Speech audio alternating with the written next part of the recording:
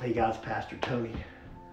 Good Friday. The first words that Jesus spoke as a 12 year old boy that we have recorded, he said, I must be about my Father's business. It's Friday, April 3rd, AD 33. Darkest day in human history. But today, one death, one brutal, gruesome death, is the worst and the best of all human deaths.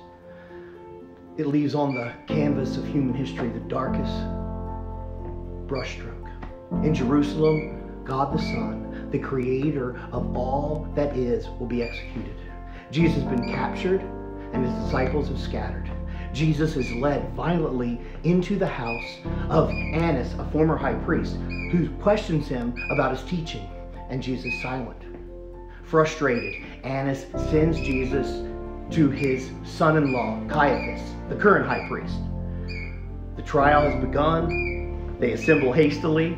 The witnesses are there, but they haven't been screened very well. The testimonies don't line up. They're spending money on false witnesses, but they did it too fast and the stories didn't line up. So the council members look all disconnected, and Jesus is silent, silent as a lamb. And Caiaphas, who's all irritated, impatient, I order you by the living God, tell us if you are the Christ, the Son of God. This is it. Guys, the hour has come. When Jesus speaks these words, he seals the punishment of death, which is why he came and what he came to do. Jesus says, You've said so, but I tell you, from now on, you will see the Son of Man seated at the right hand of power and coming on the clouds of heaven. Well, that's it. Caiaphas tears his robe in this kind of fake outrage. Jesus' blasphemy. He declares the trial, it's over. It ends. What, what further testimony do we need? We have heard for ourselves from his own lips. And as the sun breaks over Jerusalem, kind of that eastern ridge, Judas is already swinging from his own belt. Peter is struggling with the grief of his failure, and Jesus already has his face streaked with dried blood. The council's verdict, he's guilty of blasphemy. Their sentence, death. But it's a sentence they can't carry out. They got no power. Rome's in control. Rome's in control of capital punishment. All together, through six different trials between 2 a.m. and 10 a.m. on Good Friday. The first three trials are all the religious leaders, and the last three trials are all the civil leaders held by the Romans.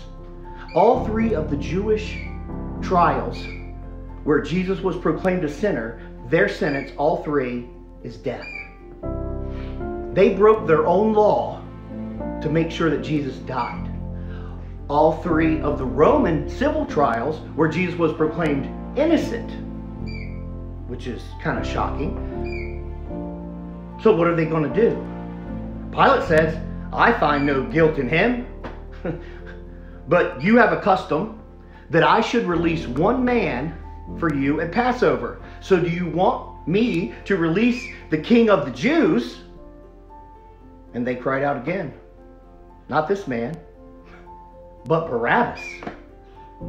And Pilate is confused. But they cry, Crucify him, crucify him. And Pilate said, Take him yourselves and crucify him, for I find no guilt in him. So it goes to Jesus. You will not speak to me? Do you know that I have the authority to release you? I have the authority to crucify you? You know what Jesus says is, you would have no authority over me at all unless it had been given to you from above. Therefore, he who delivered me over to you has the greater sin. God is in control of this whole process. Pilate thinks he's in control. The religious leaders, they think they're in control. Even the mob thinks they're in control. But Jesus stumbles out of the praetorium, horribly beaten, bleeding. The Roman soldiers have been brutal in their creative cruelty. thorns have been ripped from Jesus' scalp, and his back is just one grotesque wound. And Golgotha is barely 400 yards through the garden gate. Jesus doesn't even have enough strength to carry the 40 pound crossbar. So Simon is drafted from the crowd, Simon of Cyrene, to help him carry it. And 25 minutes later, Jesus is hanging in sheer agony on the cruelest instrument of torture ever devised. Nails have been driven through his hands and his feet. A sign above Jesus declared in Greek and Latin and Aramaic, He is the King of the Jews. The king on both sides have thieves beside him. The mockers are saying, Let him save himself if he's the chosen one. But they don't understand if that king saves himself, their only hope for salvation is lost. But they don't get it. And Jesus asked his Father to forgive them. By mid afternoon, darkness has fallen upon everyone. But for Jesus, the darkness, the horror he has never seen before. This, more than the nails and the thorns, is what made him sweat blood the Father's wrath. Jesus is drinking the full cup of God's wrath. He is at that moment no longer the blessed, but the cursed. Jesus has become sin in terrifying isolation, cut off from the Father, from all humans, and Jesus screams, My God, my God, why have you forsaken me? No greater love, humility, or obedience has ever been displayed or will ever be displayed than what Jesus just did.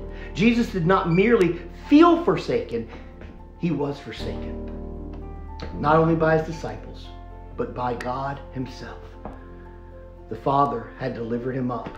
Judas to the Jews, to Pilate, and finally on the cross himself. And now, when Jesus had cried, God had closed his ears. The crowd had stopped jeering. The demons had not stopped taunting. The pain had not been abated. Instead, every circumstance bespoke the anger of God, and there was no countering voice. This time, no word came from heaven to remind him that he was God's son and greatly loved. No dove came down to assure him of the Spirit's presence and ministry. No angel came to strengthen him. No redeemed sinner bowed to thank him. Jesus was bearing the curse. Who was he? He cries out in Aramaic, but he doesn't use the greatest of all Aramaic words, Abba, even in anguish of the Garden of Gethsemane, distraught and overborne, he had been able to use Abba, but not here. In love, he has drained the full cup of his Father's wrath. Jesus has borne our full curse. There's no debt left to pay, and he has nothing left to give. It is finished. And the Son of God dies. It is the worst and the best of all human deaths. For on this tree, Jesus bears our sin in his body the righteous for the unrighteous, that he might bring us to God. And now it's finished. The first words of Jesus I must be about my Father's business. Jesus' last words it is finished. Remember that as we go into this weekend. And I love it's Friday, but Sunday's coming. Thank you for listening this week.